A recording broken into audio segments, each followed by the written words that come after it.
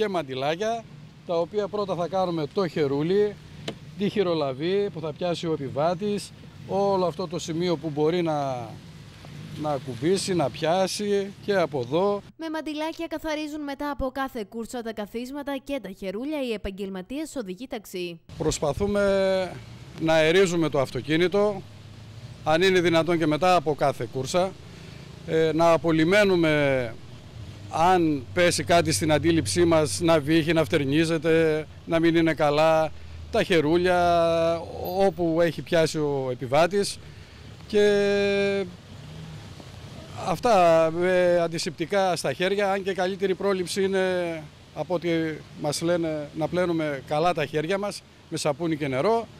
Αλλά εντάξει τώρα πάνω στη δουλειά δεν είναι εφικτό κάθε στιγμή να γίνεται αυτό, γίνεται σε άλλες ε, στιγμές και αυτά τα μέτρα τα απλά, ό,τι μπορούμε να κάνουμε.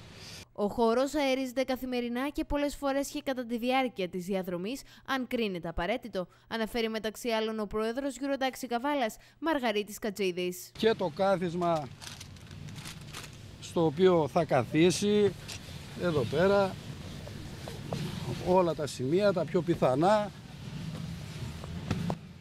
οι επαγγελματίες οδηγοί ταξί ενημερώνουν ότι η μετακίνηση με τα ταξί λόγω αμεσότητας αποτελεί έναν ασφαλή τρόπο μετακίνησης. Η μετακίνηση με το ταξί, επειδή είναι πιο στενή, πιο άμεση, δηλαδή θα μετακινηθείτε εσείς και η οικογένειά σας ή η γνωστή σας. Είναι κάτι συγκεκριμένο. Ε, κάπου δεν υπάρχει φόβος μετάδοσης νοσημάτων. Ε, όπου μαζεύεται πολλοί κόσμος ίσως υπάρχει μεγαλύτερος φόβος, άλλος φερνίζεται, άλλος βύχει, άλλος έχει πυρετό. Εντάξει, αυτά είναι γνωστά βέβαια. Δεν θέλουμε να πενευθούμε και να κατηγορήσουμε κάτι άλλο, απλά είναι γνωστά. Τα ξέρει όλος ο κόσμος. Άλλο είναι η άμεση μετακίνηση και άλλο είναι η μαζική.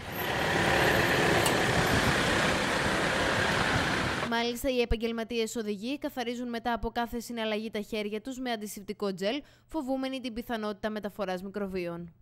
Και έχουμε και τα, τα, τα τζελ, τα αντισηπτικά, γιατί και με τα χρήματα εμείς έχουμε επαφή, κάνουμε τα χέρια μας. Τι να κάνουμε, προσπαθούμε και εμείς να προστατευτούμε, οι πάντες.